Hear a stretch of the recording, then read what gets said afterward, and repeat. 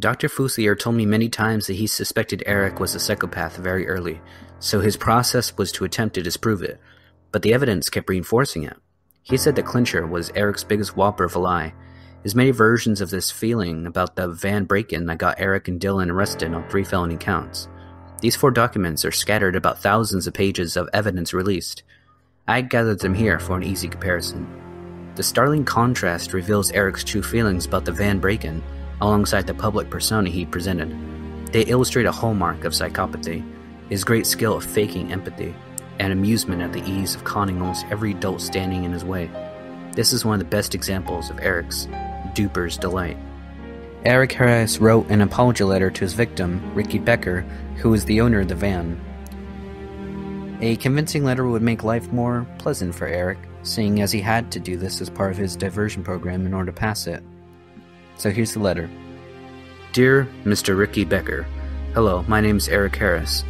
On a Friday night in late January, my friend and I broke into your utility van and stole several items while it was parked at Deer Creek Canyon Road in Wadsworth. I am writing this letter partly because I have been ordered to from my diversion officer, but mostly because I strongly feel I owe you an apology and explanation. I believe that you felt a great deal of anger and disappointment when you learned of our act. Anger becomes someone you did not know was in your car and rummaging through your personal belongings. Disappointment because you thought your car would have been safe at the parking lot where it was, and it wasn't. If it was my car that was broken into, I would have felt extreme anger, frustration, and a sense of invasion. I would have felt uneasy driving in my car again, knowing that someone else was in it without my permission. I am truly sorry for that.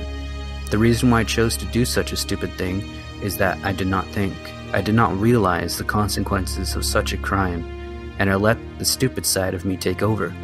Maybe I thought I wouldn't be caught, or that I could get away. I realized very soon afterwards what I have done and how utterly stupid it was. At home, my parents and everyone else that knew me was shocked that I did something like that. My parents lost almost all their trust in me, and I was grounded for two months.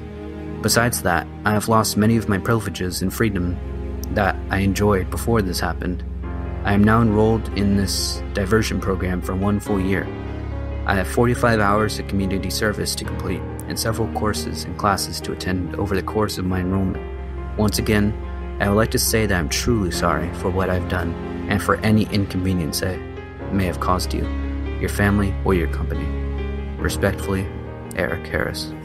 That was the letter that he wrote to Ricky, who was the uh, owner of the van that he broke into with Dylan. And now Eric's rant about it at the same time in his journal, but it's completely different. The letter that he wrote to Ricky was, you know, apologetic. Um, he saw himself, you know, acting in a stupid fashion, which led him to get arrested by officers and have to do this whole diversion therapy to avoid, you know, any criminal charges on his record. But now that he's, you know, in his own personal bubble here, writing about it in retrospect, it's a completely different story. I'll read some of it for you. Isn't America supposed to be the land of the free? How come if I'm free, I can't deprive a stupid fucking dumb shit from his possessions? If he leaves them sitting in the front seat of his fucking van out in plain sight in the middle of fucking nowhere on a fry fucking day night.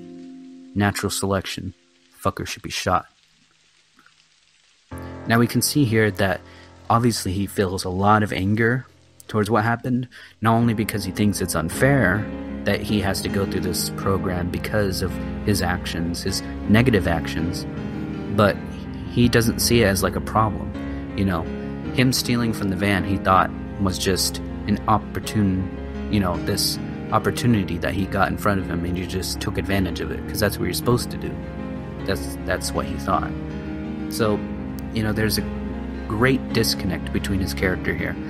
He he puts on this facade, you know, for the public, and then behind the scenes he's kind of scheming, you know, and just um, kind of re-emphasizing the fact that he's in the right and that people are wrong, but he has to play along in order to kind of go about his own business.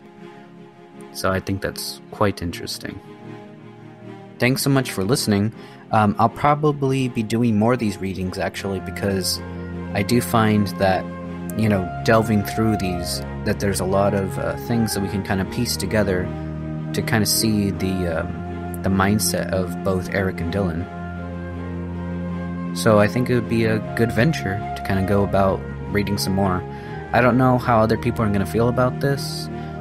Mainly, my channel is dedicated to like music videos and gaming, but I'm kind of like diverging into a, a whole different path here with doing these readings. But maybe it's a good change. I don't know. Maybe maybe change is good. Thanks again for listening, guys, and I'll see you in the next video. Bye bye.